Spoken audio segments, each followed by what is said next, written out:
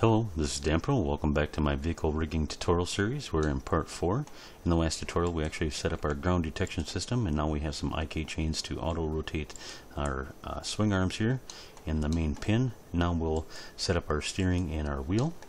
Now there's actually a very good bone here that's a good candidate for uh, uh, parenting this um, steering to it or the the hub itself but the problem is, is because it has an IK constraint on it uh, we can't rotate this so we do um, R to rotate we will just flip that out. So um, while that bone is a good candidate uh, position wise it's a bad candidate because of that IK constraint. So we will actually add a bone at that exact same position. So I'm going to select this bone MCH strut.002 shift D to duplicate it and then I'm just going to resize it a little bit just so we can um, differentiate the two here.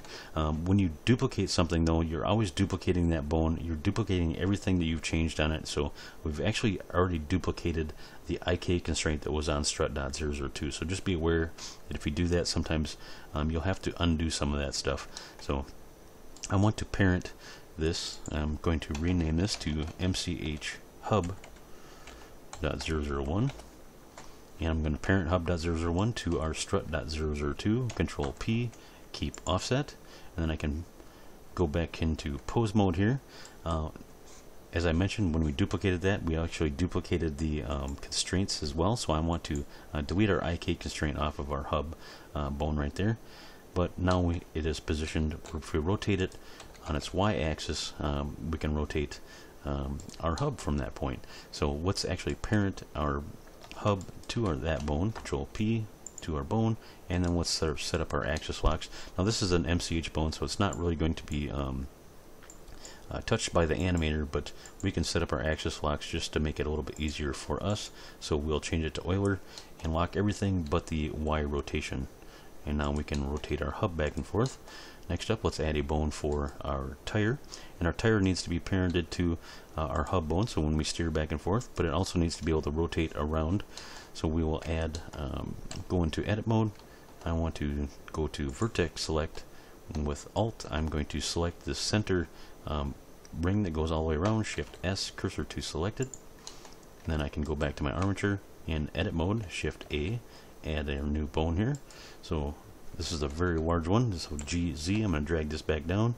I want to parent this bone um, to our uh, hub.001, control P, keep offset, and I also should name this. This is actually going to be a animation control, so it'll have a normal name, wheel.001. And we uh, x-axis is going this direction. Of course, we rotate it from the head, so um, we can lock um, the location values here because we don't want to be able to pull this away we can change this to XYZ Euler and lock everything but X and it's not needed for scale as well. Now it will uh, rotate only on that single axis. We can parent our tire bone to our wheel bone, control P, or tire mesh rather, to our wheel bone to make that spin. And now we spin that around its x-axis and we can also rotate this hub and that wheel as well through that parent-child relationship um, to um, change the direction that that wheel is spinning.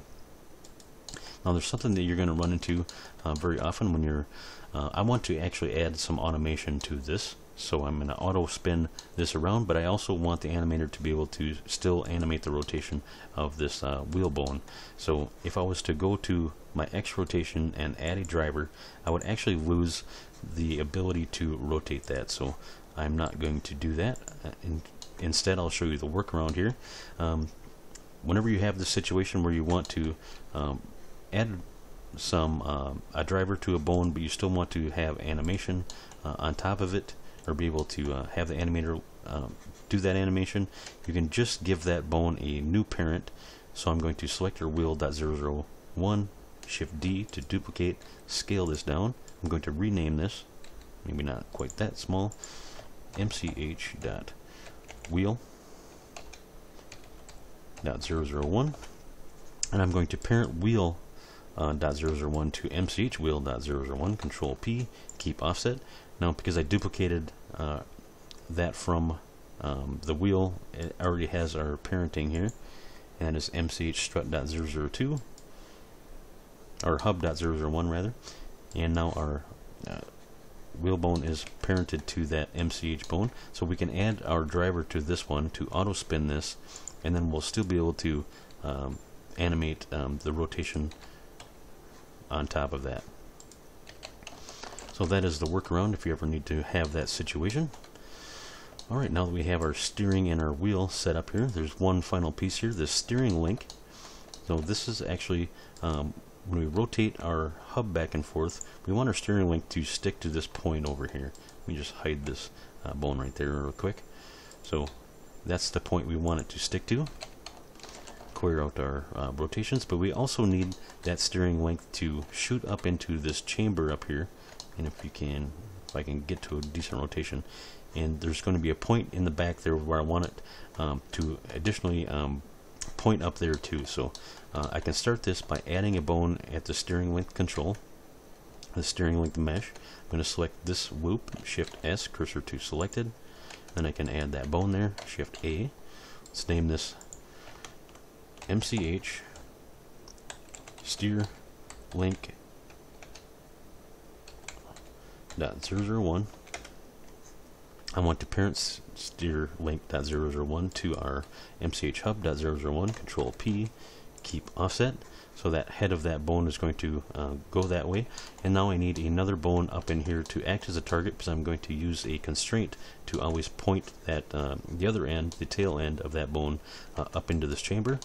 I'm going to select this mesh and go into wireframe and hopefully I can find that there. Shift S cursor to selected. That is the inside of that um, of this chamber here. I can add a bone to that position.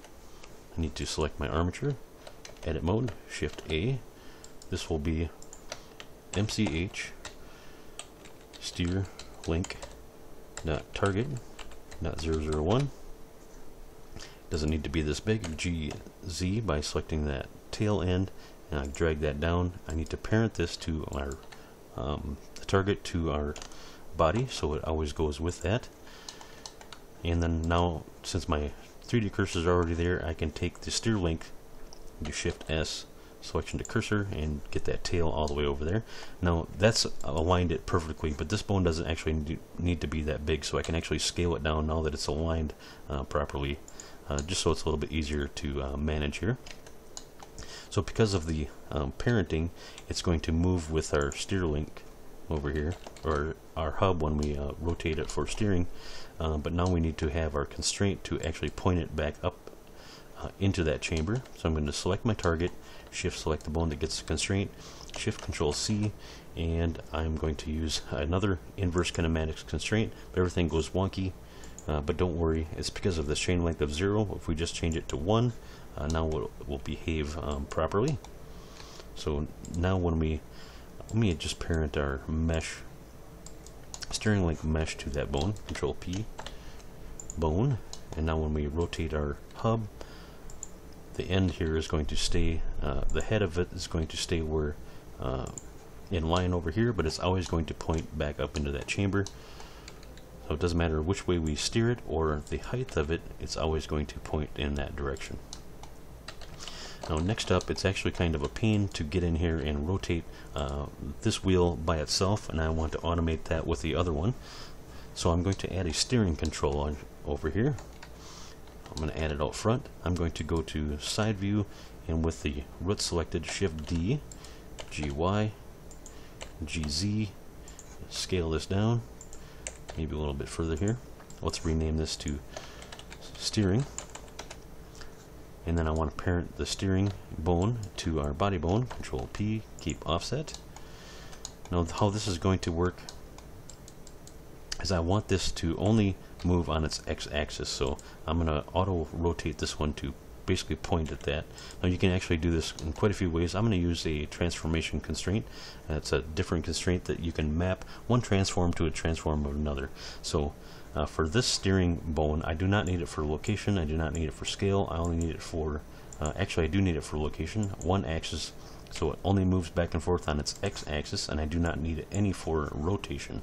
So now that I can move it only back and forth on its local x-axis, I actually want to limit how far it can go here, so I think about 0.5 and negative 0.5 will be good. So I'm going to add a limit location constraint.